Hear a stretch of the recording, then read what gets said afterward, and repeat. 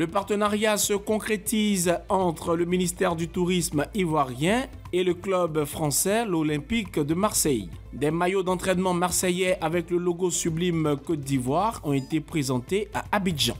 Les Ivoiriens expriment leur satisfaction pour les mini-cars estampillés l'Abidjanais. Une satisfaction pour le ministère des Transports qui a encore offert un lot de 15 minibus pour le bonheur des populations. Comment organiser les acteurs du secteur de l'orpaillage? Les détails dans ce journal. Voici pour le sommaire, bienvenue à toutes et à tous.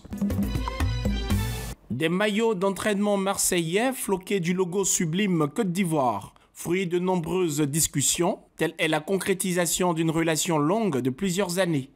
Conformément à notre protocole d'accord, il est convenu que nous nous voyons en terre ivoirienne pour que ce partenariat qui repose sur des fondamentaux beaucoup plus solides, ils viennent s'inspirer de ce pays qui sont chaque jour de match en train de promouvoir à quoi ressemble ce pays, comment ils peuvent mieux articuler les actions à entreprendre. Et c'est ce qui explique cette présence ici. Un sentiment également partagé du côté des locataires du Vélodrome.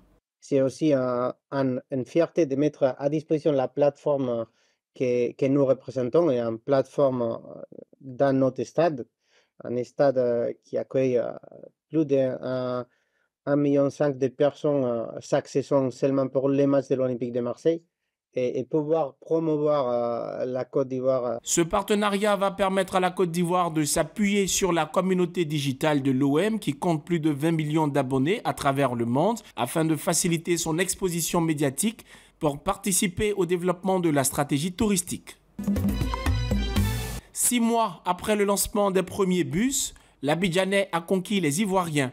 Ici, à Adjamé, on préfère attendre ces bus au détriment des minicars communément appelés Baka. Ça nous arrange plus par rapport aux autres Baka. Ah oui, mais parce que là, là on est tranquille, on ne nous insulte pas à bord. Hein? Et tu vas à destination bien précise. Bon, comme c'est une vie humaine, on ne peut pas être satisfait à 100%, sinon pour le on est satisfait. Des voix qui ne sont pas arrivées dans les oreilles de sourds. Le ministère a remis le dernier lot de 15 minibus de 18 à 26 places aux transporteurs de la commune d'Abobo et de Yopougon. Il s'agit des véhicules Made in Côte d'Ivoire estampillés l'Abidjanais. L'on dénombre actuellement 40 véhicules remis aux transporteurs pour cette phase pilote. Ces importants efforts entrepris par l'État vise à doter le secteur du transport routier de matériel roulant neuf, contribuant ainsi à l'amélioration de la rentabilité de l'activité de transport et à la création de richesses.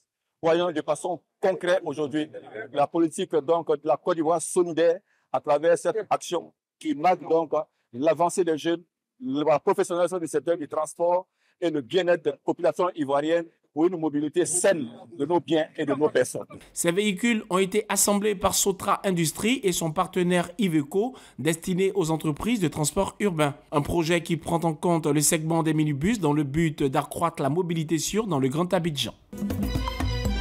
Leur paillage reste peu connu en Côte d'Ivoire où le secteur est dominé par la clandestinité se définissant comme la recherche à des paillettes d'or dans les cours d'eau orifères, de façon artisanale ou semi-industrielle, leur paillage joue un rôle majeur dans l'économie minière. Si leur paillage clandestin s'évite en Côte d'Ivoire, des opérateurs tentent de s'organiser pour sortir de l'informel. Et cela commence par bien s'informer pour se lancer dans un secteur dit très lucratif. Le site que vous demandez ou sollicitez peut être euh, dans, dans une rivière.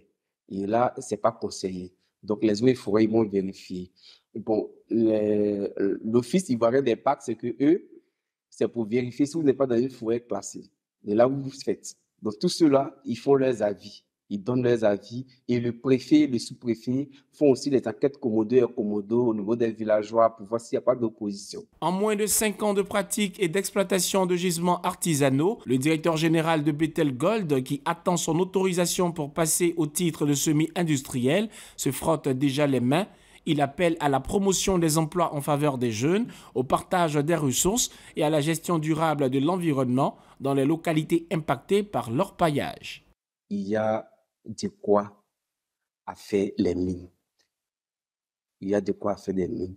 Moi, je les sollicite, je les, je les exhorte à venir travailler dans les mines. L'orpaillage artisanal est pratiqué dans au moins 24 des 31 régions de la Côte d'Ivoire et mobilise environ 500 000 exploitants, selon l'ONG internationale Coginta, qui recommande le contrôle du secteur minier artisanal face à la recrudescence et l'ampleur de l'orpaillage illégal et ses corollaires, et surtout le contexte sécuritaire marqué par la menace terroriste. La septième session internationale de réflexion stratégique a été ouverte à Abidjan. Quatre jours de réflexion sur les espaces aquatiques et couverts forestiers en Afrique. Nous nous réunissons aujourd'hui pour explorer des questions qui impactent l'avenir de notre continent. Entre autres, le braconnage, la pêche illicite, l'orpaillage illicite, la déforestation. Toutes ces questions sont des menaces réelles pour les écosystèmes et pour la sécurité de nos communautés. Le président du comité d'organisation, le colonel-major de la gendarmerie nationale Hervé Franck Kofi, nous donne les objectifs de cette septième session internationale de réflexion stratégique. L'objectif visé par ces assises est de renforcer les capacités de hauts responsables de l'administration publique, du secteur privé et des forces armées en matière stratégique sur des problématiques nationales et internationales à travers des partages d'expériences. La session internationale de réflexion stratégique est l'activité majeure de l'Institut d'études stratégiques et de défense IESD. L'Institut est né en 2013 de la volonté du président de la République Alassane Ouattara, qui, dans le cadre de la mise en œuvre de la réforme du secteur de la sécurité, a bien voulu doter la Côte d'Ivoire d'un outil de réflexion stratégique. C'est tout pour ce 7 minutes. Merci de l'avoir suivi. Très bonne suite de programme sur cette info.